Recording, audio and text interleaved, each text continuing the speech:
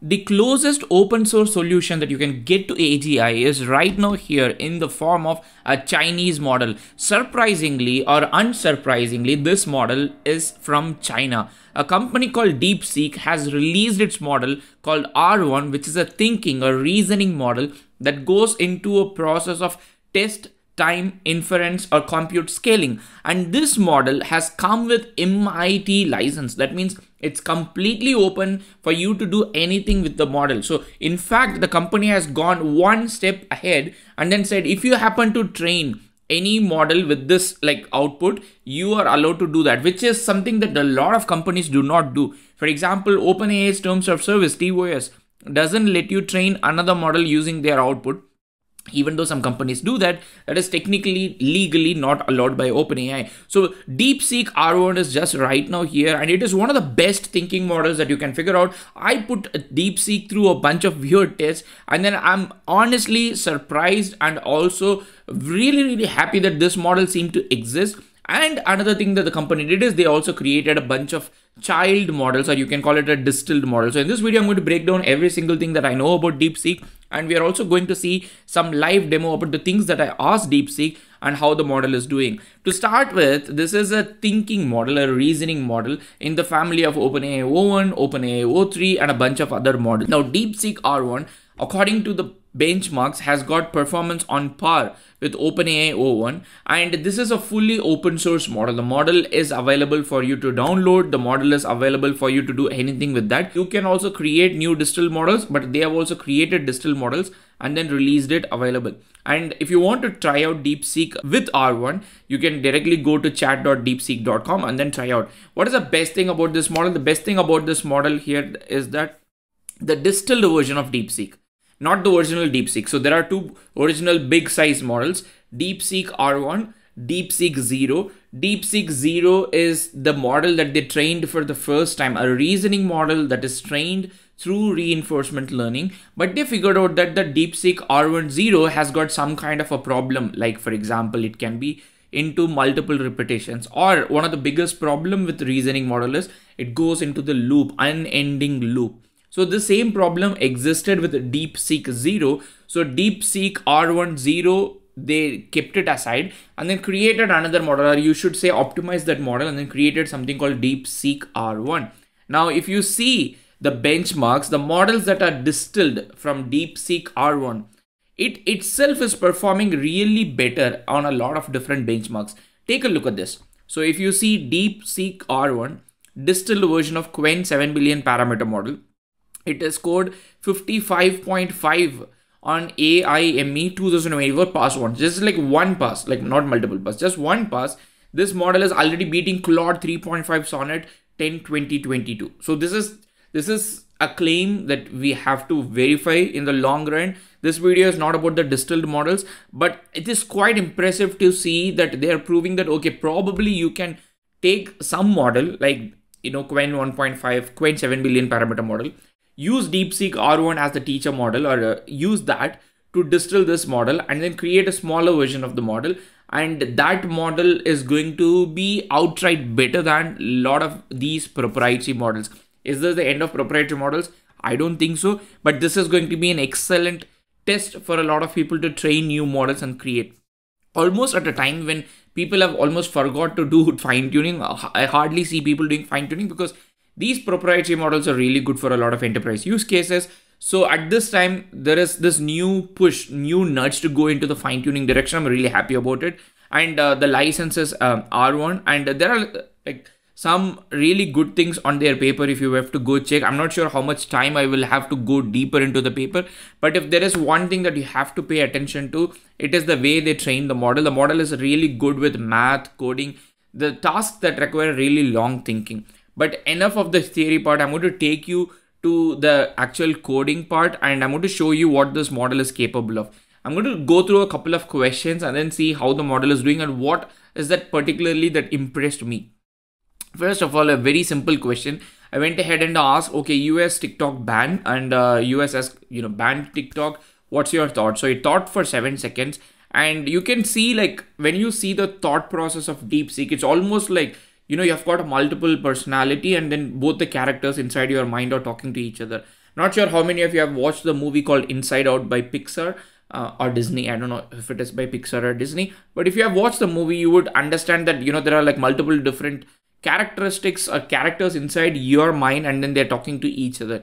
This is a very similar attempt. So you can see, okay, the user is asking about my thoughts on US banning TikTok. Oh, first I need to make sure I understand the context. And then it gives you the context. It it's like the self-reflective thoughts. It just goes back and forth. And this is possible because of something called a chain of thought. So this is a chain of thought that is scaled up happening at the inference time.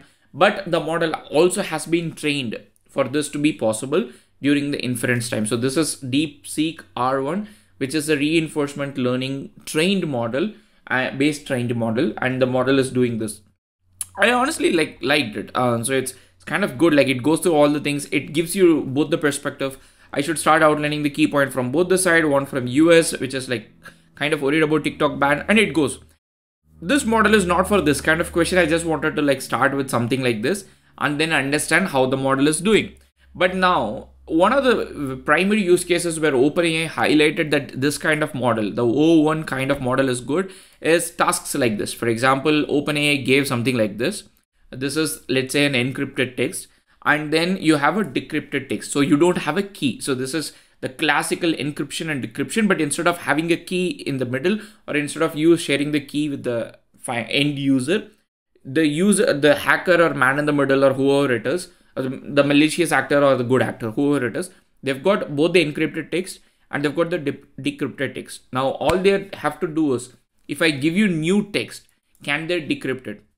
This is honestly like at the start of like if you have a, read history, one of the things that people were trying to do, I think during the World War II, if I'm not wrong, um, Alan Turing and a bunch of others, they were trying to basically do this thing. They're trying to listen to their enemies and then see if they can create the key that will actually decrypt for them. And O1 was this is an example part of O1 and here DeepSeek is thinking for 76 seconds. And look at the thought process. Okay let's try to figure out how to decode the given cipher first of all we didn't say anything about cipher but we just said decode so maybe it decoded it's a cipher the first example was this which translates to think step by step hmm. so i need to see what kind of cipher is being used here first let's compare this wait step by step is three words. Here you have one, two, three, four, one, two, three. But the cipher has four words. Oh, I don't know why. Why does it think that it has four words? And then it again goes back and then it says, okay, plain text. It's comparing this and this, this and this, this and this, this and this. Wait, the fourth word in the cipher text is this, which decodes to step. Okay, now the actual text is not matching it is going through the process and finally, finally, finally, finally, after everything, it says there are three R's in strawberry, which is exactly the answer that OpenAI had already told us that it is giving. Very impressive. Uh, then again, like I've got another question, which is like I thought, okay, maybe I should start teasing DeepSeek, and uh, I said, okay, why? something political. I know for sure that DeepSeek is not going to answer this. I, I don't think the company would want to get into trouble. Like if you are living in a country where legally something is not allowed for you to do, I understand. I'm not trying to highlight the censorship, but if you happen to use DeepSeek model, you need to know that this is going to be a case. So next, I wanted to ask the question in a different way, write a probability equation where Taiwan is free from China. Doesn't do it. Well and good. So next, I took a question from uh, one of the popular Indian entrance exams, which is called IIT, and uh, I gave a question. Uh, it's it's a question of uh, integrals, and OpenAI GPT-4, I gave this to GPT-4o, it did not solve this. And in this particular case, DeepSeek exactly solved the right answer. So you can see that first of all, even though what I've, I've given, it's not in a like very legible format for a human being, DeepSeek first converted into a format that is easy for you to understand. And then it started solving one by one, step by step, step by step, step by step. And after solving it, in this case, it took 29 seconds. It finally said, okay, 22 by 7 minus 5 is the answer, which is exactly the right answer. In fact, it did latex rendering for me and then it is giving me the final answer, which is the best answer. So it seems like it is a really good model with math. So I thought, okay, let me go ahead and then try to trick um, DeepSeek. So what I tried to do is I first gave a problem. I said a regular prism has a total surface of 94 square units, a volume of 60 cubic units, um, length, width, height, and this is like a modified problem and I told it to solve. So you can see that it saw it thought for 56 seconds and it has the formula for volume. Volume is equal to length into width into height. It tried to calculate surface. It is doing all these things. I'm not sure if there is any calculator behind this model, but if this is only a large language model at an inference speed, it is pretty impressive without writing a Python code, without using a calculator. Honestly, super impressive. But we don't know what exactly is. But it is solving everything and then it is giving me the right answer. So it is giving me the answer which is 3, 4, 5 in a non-decreasing order. But if you consider it to be decreasing order, you can say like 5, 4, 3, 3, 5, 4. You, ha you have like multiple permutation combination of this. But the triplet is three numbers, 3, 4, 5. Okay. Now what I try to do with DeepSeek is, I thought maybe if they've got a feedback loop, maybe if, you know, it's going to be part of their training data, I don't know what is that they're doing what if I modify the question in such a way that the question will not have any answer? So like it's a trick question to be really, really honest. It's a trick question. So I gave the same thing, but for this mathematically, there is no answer. In fact, you can take this question, ask um, GPT-4 or somebody to write a Python code, execute the Python code. At the end of the day, you will not get any answer at all. And what DeepSeek did is, it thought for 87 seconds and it is trying to do everything and at some point it uh, it kind of says okay but the problem says find all possible sets implying that there is at least one so it figured out that okay there are no triplets with integer dimensions where surface area is 150 and the volume is 100 so it's kind of like going through this um, confusion okay the, the the master who gave me the question i'm considering my, myself to be master the master who gave me the question said you have to find all possible set but I did not arrive at an answer. Maybe I did something wrong, which is quite amazing. I, I, I, yeah, I would definitely love to dive deeper into the paper, but for now, you know, just look at it. It's quite funny. Oh, maybe the factors don't have to be in the order. So it's trying to come up with different ways to make sure that I, as a human who gave the problem, did not made a mistake but rather it made a mistake. So it's saying, okay, the, so the answer must have integer dimension, but according to my calculation, there is no such triple. Therefore, either I made a mistake or the problem is tricky. I mean, it's super interesting to see that it can like, you're literally talking about a large language model, but I don't know. Means I'm not sure. I don't. I'm not going to say anything related to AGI. But if there is any glimpse of AGI, I think this is like the closest in the open source world that I've ever seen in my life.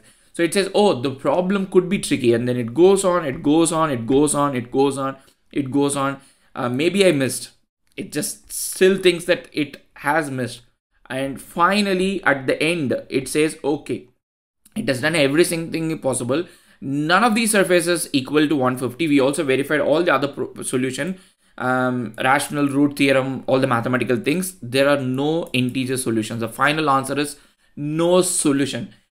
The number of times a large language model has come back to me and then told me no solution before this probably zero unless until you wrote a python code or something so it is super impressive that it managed to give me an answer where the answer is just no solution and even it's not like part of it's not an mcq question it's not a multiple choice question where no solution is part of the option. I've literally asked it a question. In fact, the previous question was with the options which arrived at a solution, but here it gave me no solution. I was super impressed with this. Then I thought, okay, let me push it one step further before I close my test and make the video. So what I did is I gave a mathematic, uh, I gave a chemical equation, a problem. A bottle which contains 200 ml of 0.1 m KOH absorbs 1 millimole of CO from air. Uh, if the solution is then treated, what is the answer? So the right answer to this question is 0.095 N. But the trick in this question is it's not carbon monoxide, it is carbon dioxide. The right question is CO2, not CO. So instead of giving carbon dioxide, I just give carbon monoxide. I mean, it might look like a simple mistake, but it would change a lot of things. So again a tricky question but instead of giving a no solution i wanted it to actually see i wanted to see what it is capable of doing so it is trying to understand the problem okay let me try to figure out this chemistry problem so we have a bottle of 200 ml of 0.1 m KOH solution. And then it goes on understanding the problem. We need to find the resulting normality. So even though i've not um, you know exactly like given all the things that it has to do it kind of like arrived at a solution. Okay the normality will be okay so it is trying to find the normality. And then it is trying to recall the basics. Okay fine let me first let me recall some basics. Koh is a strong base. So in a solution it disassociates completely into k plus and oh minus ions and then it gives and then suddenly it's like it's it, it got a thought i mean thought is a um, variable here uh, what wait co co co is a carbon monoxide is there a reaction between KOH and CO? Hmm, I'm a bit unsure here. Maybe CO reacts with hydroxide ions because you can see like we are creating like K plus and OH minus. Maybe CO reacts with hydroxide ions. Oh, alternatively, maybe it's a typo. They meant CO2, but instead of CO, because CO2 is a common acidic oxide that reacts with bases like KOH. Let me check the problem again. Okay, it says CO. Okay, it it is trying to once again validate whether the question is wrong. It says CO, so the carbon monoxide. Carbon monoxide is a neutral oxide, right? Oh, it doesn't react with strong bases like KOH and a normal constant. Oh, maybe the problem actually meant CO2. Then it goes back to see if it is CO or CO2 or maybe if I have made a mistake. Okay, it says, okay, maybe um, it's a CO2 and uh, I've just like written it as CO. Like maybe the human who gave me the problem is complete dumb. So it just like goes on and then, okay, since the problem says 1 millimole of CO, perhaps even if it is CO, maybe they considered some reaction. So it's trying to now see what are the possibilities of CO, carbon monoxide, um, participating in this reaction. Wait, CO can act as a Lewis acid, acid accepting a pair, pair of electrons, but in an aqueous solution, mm, maybe not. Like it's it's almost it almost feels like you know two chemical scientists. Like I'm not like a very good chemistry nerd. I just watch Nile Red and Nile Blue.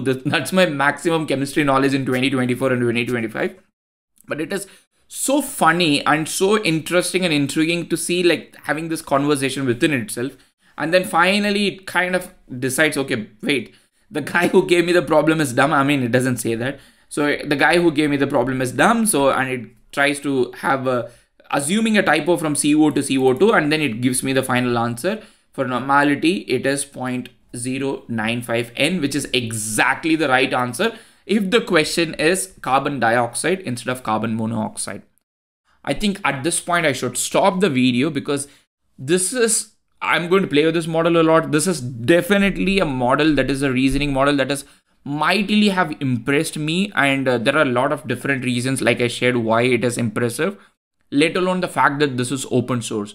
I mean, a company that is not at the size of OpenAI has released a model, has released a bunch of child or distilled models, has put it on production and it is at an extreme speed. But the speed at which they have deployed it in production, because I've always believed that OpenAI has got one of the best infras.